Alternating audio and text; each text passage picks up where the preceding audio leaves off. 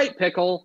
Let's start with some headlines. We've got headlines from across the state of Texas uh, to get into, and we will start with a um. Uh, this was a this was a, a story that kind of popped on our radar a little bit earlier this w- last week.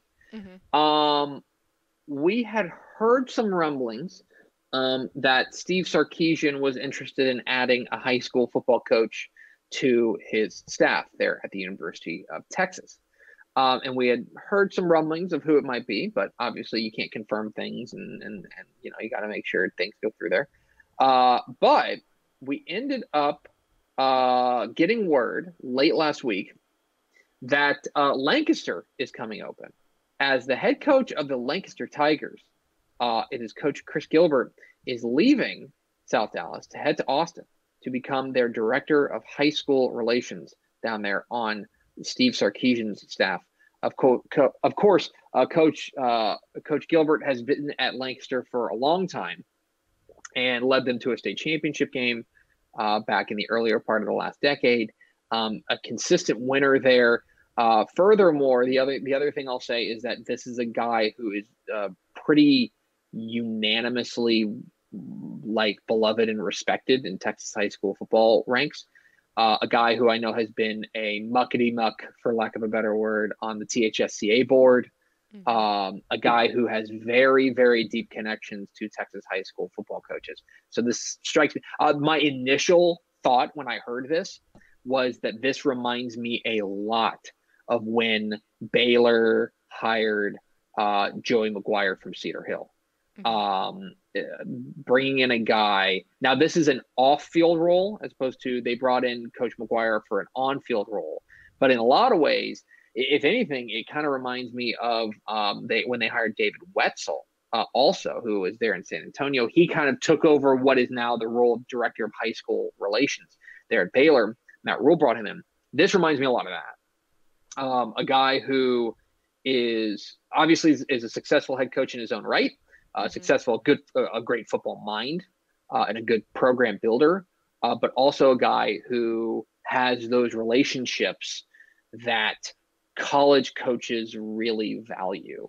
And so, as a result, uh, a really, really big pickup there, I would say, for the um, for the Texas Longhorns. They grab uh, uh, Chris Gilbert from Lancaster.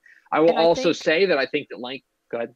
I think that the biggest thing, like you said, is not only do they have the respect of the high school football community through the administration, through the other coaches, the thing that makes Chris Gilbert and Joey McGuire so similar is you can see the clear love the players have for them. It's not only that they love yes. their players, but those guys have so much respect for them that it it makes perfect sense. I thought this was a fantastic big hire. Yeah, that was a very savvy hire there by um, by Steve Sarkisian to bring on Chris Gilbert. I will also say that I think that Lancaster is going to be an interesting job and a job to keep an eye on. I think that there are going to be a lot of people who are um, who are interested in that job. So keep an eye on that on Lancaster. Uh, but that is now open as Chris Gilbert is leaving to go be the director of high school relations at the University of Texas. Uh, let's go to the other side of the Lone Star rivalry and talk a little bit about Texas A&M. Uh, we would be remiss, and we'll probably get into this. I don't, I don't script out uh, this week in recruiting. That's uh, that's Greg Powers' job. Mm-hmm. But we would be remiss if we didn't talk about the heater that Texas A&M recruiting is on. Uh, they have been, um, they have been really, really red hot lately, uh, especially both in the class of 2021, I believe, as well as uh, the class of 2022. Um, they, they added in a few guys like uh, Jahmir Johnson, uh, the, mm-hmm. the tackle transfer from Tennessee he's coming in. But but over the past couple of days and and, and really the past week, they've landed a commitment uh, from Conner Weigman, uh, the quarterback at Bridgeland. Uh, it's a, a four-star guy. I haven't checked our DCTF Hot 100 right yet, but a guy who I, I would presume is very highly rated. Uh, there, he's a guy that, that I think is really you know rising up the recruiting charts. But they they get uh, Conner Weigman, the quarterback there. Uh, they also get a commitment from uh, Hunter Erb, the uh, tackle from uh, Northwest Eaton, from Haslet Eaton. Um, so big get for them. Uh, but uh, recruiting, keep an eye on A and M. They've been on a recruiting heater lately. Uh, I'll be remiss. We'll probably get more into that on Wednesday when we talk with Greg Powers.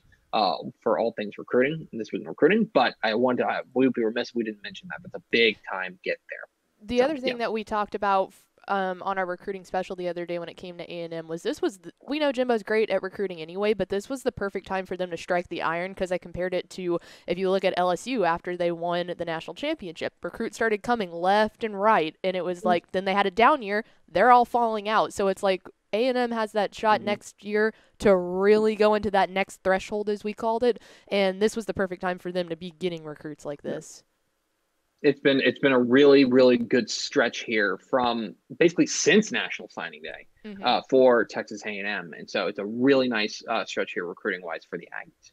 Uh, we actually had pickle college football this weekend in we Texas. Uh, Texas teams. Uh, we remember a number of teams. Um, in fact, you know most teams decided to bump their football to the spring, and that started this week. Now, now a lot, a few more start next week. I think Tarleton plays. I think we'll have the first FCS game of the spring next week uh, when Tarleton plays. But we had a number of Division three games, including uh, McMurry beats uh, Sul Ross State 17 to 14, first win for the coach there. Uh, Texas Lutheran. Uh, the thriller of the week was Texas Lutheran over Howard Payne, 39 38 um, uh, as they get uh, Seth Cosma, their quarterback, runs for a touchdown uh, in the final two minutes uh, to pull them within one. They decide to go for two and the win, and Cosma runs in for the score, uh, mm-hmm. and, and, they get a 39 38 win over Howard Payne. Uh, Trinity takes down Austin High, or I'm Austin, I'm sorry, Austin College, back in the high school football world, 35 24. East Texas Baptist takes down Southwestern 28 17. Uh, and um, also, uh, Mary Hardin Baylor is doing Mary Hardin Baylor things. Uh, they beat uh, Belhaven 41 to nothing in emphatic fashion. So, yeah, we actually had college football. We're going to try to get our college football insider, Corey Hogue, on the show later this week. We were supposed to, uh, the, you know, full disclosure, we were supposed to have him on Thursday. The Thursday show obviously did not happen. But uh, yeah, so we're going to try to reschedule him for this week to talk a little bit of uh, small school call or small college football across the state of Texas for the spring. So there's that. And then one last story, Pickle, from the mm-hmm. weekend. And this was another story we had kind of got uh, caught wind of uh, about a week ago. Uh, but um, we've got a, a we've got a, a, major a major star in the high school football world who who's leaving us. Uh, you may remember uh, Marco Regalado, Page who 12. was the. I'm sorry. I said page 12. He's our page 12 yeah, guy page 12, in the magazine. page 12. Page 12 of the magazine. Uh, he was the assistant coach who went viral over the summer on TikTok, mm-hmm. doing all these like coaching impressions and things like that. Uh, he went, um, he was going viral and stuff like that. He left, I believe he was at PSJA Southwest. Yes, the green one the Wolves. That sounds right. Uh, he left there to go to Haslet Eaton. He moved from the Rio Grande Valley to the DFW Metroplex. He spent a year on the staff at Haslet Eaton, and he's on the move again. This time, out of the state of Texas and out of high school football. Uh, he is going to join the staff at Washington State uh, as part of their, uh, I believe, part of their recruiting, uh, you know, group. Obviously, you know, Washington State, like, uh, like like most uh, programs, wants to make inroads in the state of Texas. Um, and uh, Nick Rolovich, their their their their coach, uh, decided to to call a guy here in the state of Texas that uh, that he had seen, that he had seen, and so uh, yeah, uh, Marco Regalado is is leaving uh, the state of Texas to go be on the staff at Washington State. Congratulations to him. That's that's a, a remarkable a remarkable rise there in the past. It's been a pretty crazy 13 months for him, I would say. Mm-hmm. Um, but uh, but yeah, congratulations to Coach Regalado. Uh, as he is, uh, we'll, we'll, certainly miss him desperately here in the state of Texas, but uh, but happy for him uh, to find uh, find his way up into the college ranks, joining the staff there at Washington State. So uh, something to keep an eye on there. Yeah, so very, very cool for that's, him. that's not that's not a that's not a move I've heard a lot of. Is high school assistant coach to college staff. But uh, I suppose it happens, but it yeah. happened here. So congratulations, Coach Regalado.